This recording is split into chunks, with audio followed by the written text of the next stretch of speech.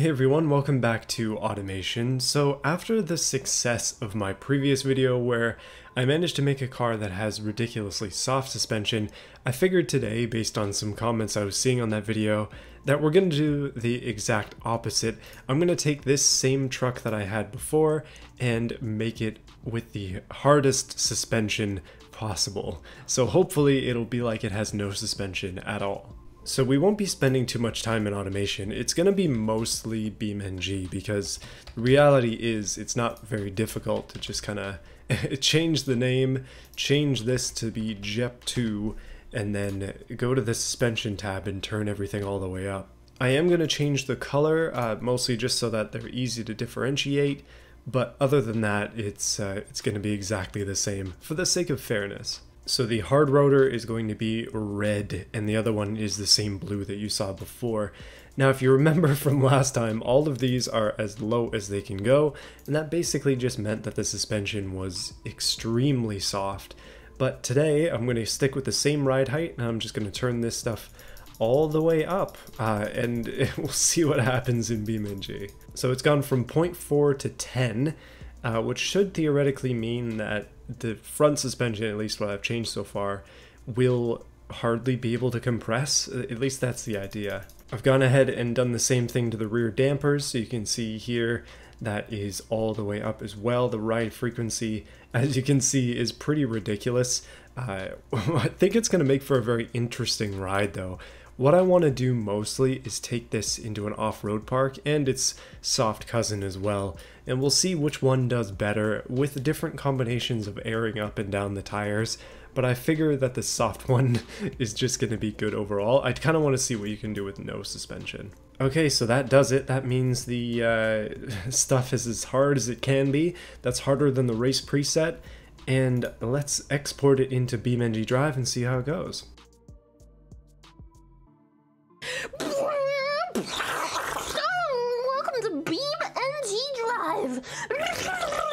So that was a different transition. Uh, this is the soft roader, uh, which is now just going to be called soft. Um, again, at the same ride height, and uh, basically the only difference is that the suspension is set to be extremely soft. And you can see that based on the way it bounces and wallows and it has problems. I saw some of the comments suggesting I mess with the sway bars as well to give it uh, a roll on the, the side and not just front and back. But I mean, that's a that's a video for another day. The softest sway bars possible might be another challenge. But this this is what we started with last week, and now let's see where we've ended up. Hardest suspension possible. Take one. Okay, it's fairly firm. It's definitely different than it was. Uh, you know what? It's not even that firm. Like it's it's definitely more firm than the softest, but it's not as dramatic. I was kind of thinking it would be just as if there's nothing there, like just completely firm suspension, no movement at all, but you can see that there is at least a little bit of wiggle room in the uh, in the wheel wells there. Now, one of the ways that we can make this even more firm is by going to the tuning settings in BeamNG's own editor and trying to make it even harder. So let's try that. Just going up here to vehicle config and tuning. So we don't have anything to do with the uh, suspension up here, but there are some advanced settings I might be able to tweak. We'll see about that. First thing I'm going to do though is I'm going to turn the tire pressure up to 45. So let's see what it's like with the firmest tires that you can get uh, because automation starts you off at a pretty low 22 something uh, psi in your tires, which is pretty much under every manufacturer's spec unless you're off-road. Uh, but 45 is pretty high. Usually cars are around 30 something, 32, 35, somewhere in there. This is not as firm as I thought it was going to be. You know, I might have been completely wrong about this soft one over there being better off-road, but there is really only one way to test it. So let's go to an off-road park, we'll test the both of them, and we'll see which one I like the best. And which one you like the best too. Obviously you can comment about that below. So this is the exact same spot that I tested the soft roader out in the previous video. It's the Hirochi Raceway rock crawling course. It is a pretty darn tough course, and I was barely able to scrape by using our soft roader vehicle, but with something that has extremely firm suspension, I'm wondering if it can do the same sort of thing. Like the other one was able to soak up bumps quite well, it had no problems at all. Uh, this is with the tire pressure back down to where it was, so I'm actually just going to quickly go and turn it all the way back up again in the in the name of making things more difficult for myself because lower tire pressure off-road is generally favorable. Right, we're back to 45 psi. I'm back to wondering if this was a good idea. Let's take this off-road course uh, for a bit of a spin. Now, this being a lot softer than I thought it was going to be, I kind of anticipate that uh, it's not going to be too bad. Although, that being said, I'm immediately stuck. I'm just going to go into low range. We should be able to get through this. I'm not amazing off-road. I'm definitely more of a... Uh, actually, I'm not a good driver in general. But when you lock the diffs and you got it in low range, it's pretty hard to stop anything in BeamNG, except if you don't have enough ground clearance. But yeah, no problem here. Attempting to do basically the exact same course is uh, seemingly not going to be a problem. However, I do have an area I think where this is possibly going to struggle a little bit. Because the suspension is significantly firmer, it is very bouncy. And I mean, we thought that the other soft roader was a lot bouncier than it should be, but the reality is that its suspension takes every bump for it. With this one, the suspension transfers all of the force from every bump right into the body and basically makes us spring up if we hit something too hard. At least that's what I'm noticing so far, uh, and that makes sense. Like, there's a reason why off-roaders tend to have fairly soft suspension. Like if it was a Baja race or something, they basically need to soak up every bump they hit.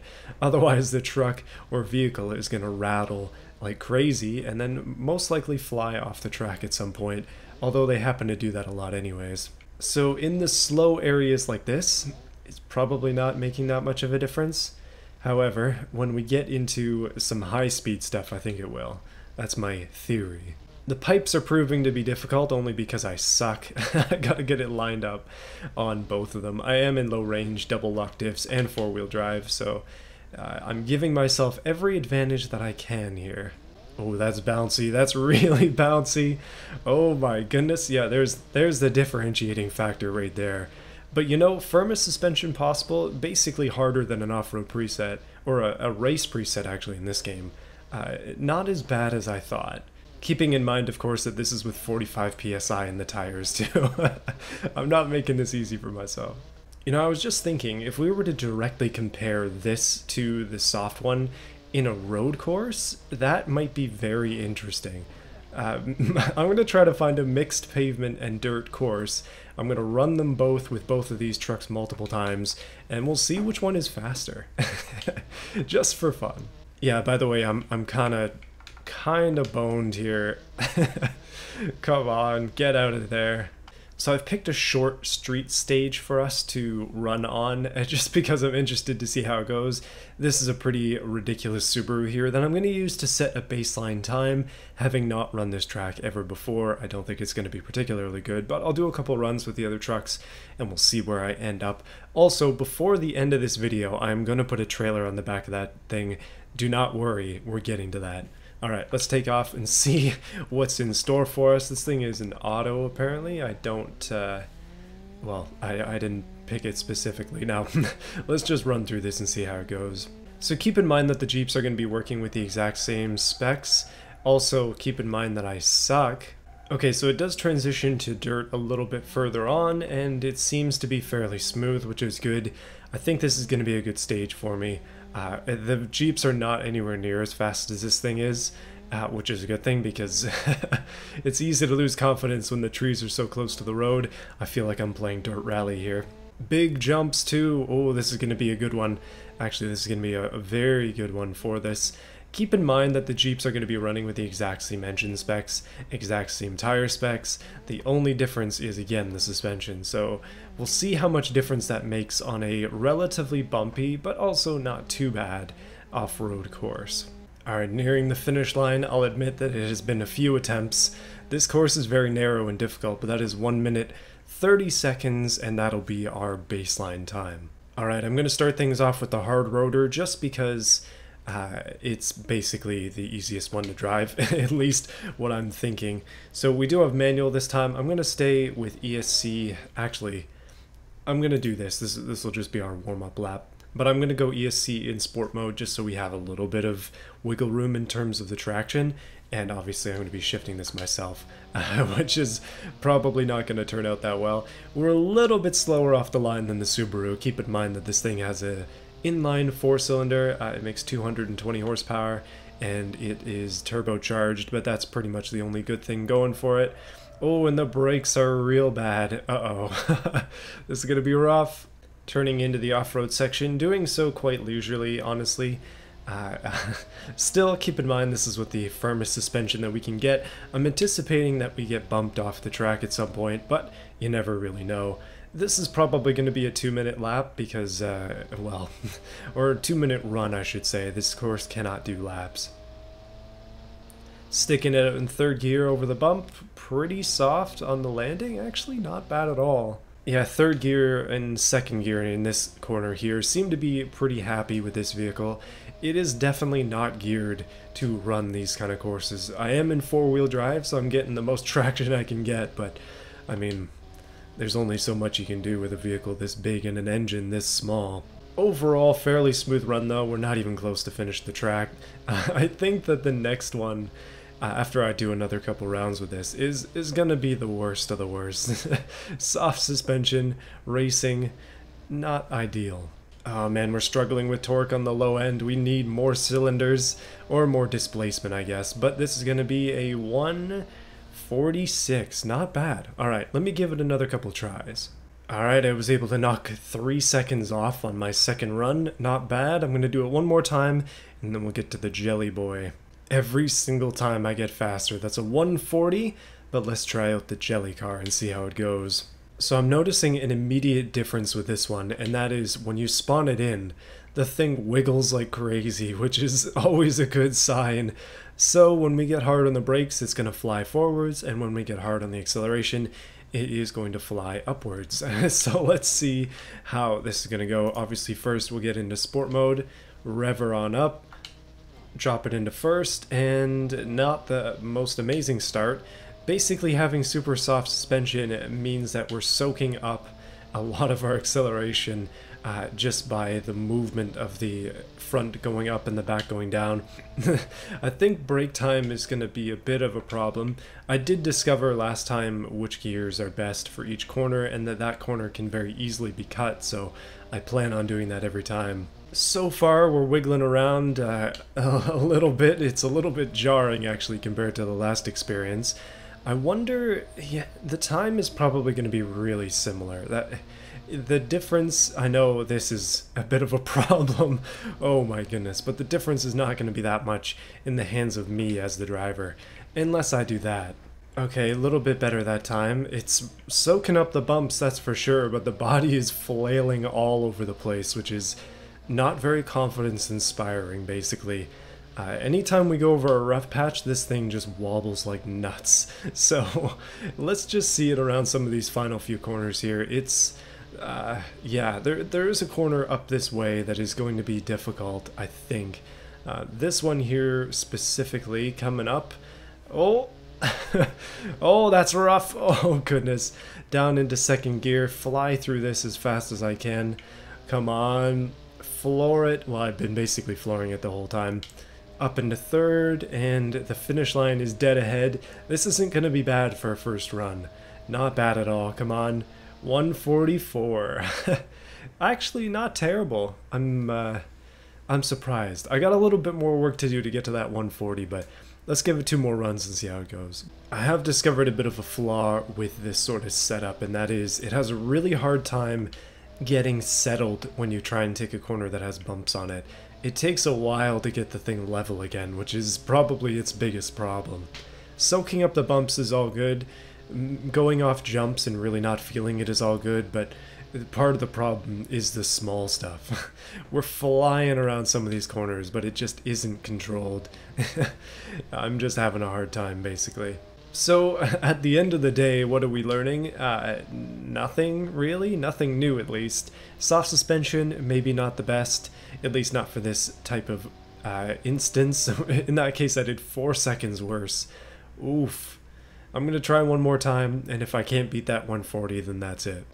And we're bouncing our way across the line. Oh, 143. Oh, uh, it would have been even better, but it definitely wouldn't have been a 140. So, that's that, I guess. We've determined that hard suspension is better, at least in a race. Oh no, my trailer's running away. Come back, Sir Trailer. It is not your time to go yet. Let's load this thing up and just kind of see how the suspension loads something that's fairly heavy. You remember the last one basically did exactly the same thing it does when it accelerates, meaning that the uh, front end went all the way up, but in this case, it doesn't even budge. well, that's a good thing. But yeah, I kind of expected this one to have no problems with the trailer at all. Uh, driving in this very lovely scenery, just a few bumps, nothing too crazy. It's definitely gonna be fine. So everybody, uh, what did we learn today? Not, uh, not particularly much. I think that this was a bit of a failed experiment in a lot of ways, because the soft suspension in Automation is like extremely soft, but the hard suspension, it's not as hard as it should be. My air conditioning just came on, so it's a good time to say goodbye. Thanks for watching this video. Hopefully you enjoyed it. Check out some of the other ones on my channel if you enjoyed this. I definitely have some more stuff you'll like if you're into suspension and weird uh, sort of ideas. I have a lot of weird ideas. there are no shortage of weird ideas on this channel. Shout out to Nyanners for the uh, intro. I appreciate that. And also, uh, be sure to check out my website if you want to support the channel. I have stickers there that I sell to the entire world if you're interested. They're five bucks shipping all over the place. And uh, yeah, I'll see you guys again soon. Check this out, boys. This is my new house. Oh, yes. Hold on a minute. Let me just crash into it for posterity. Ah, it's claimed. I just want to take a millisecond or six to thank those who have chosen to support this channel, specifically the join button members. Uh, we have Overlord, QT Bear, Terry01, J Pope, Davis Heister, The German Dude, uh, Nat64, SynLab, Goofy Plays, Badger, Phoenix Shark, and Baja Blast. Thank you everybody for your support. Also, if you haven't noticed in recent, uh, basically the last week, the channel has grown exponentially. We've gained like over a thousand subscribers, so things are going great, guys. It, it's been a bit of a lull last year and earlier this year, but I really feel like the channel's back and I'm super excited for it. So, yeah, thanks for your support. I'll see you again soon.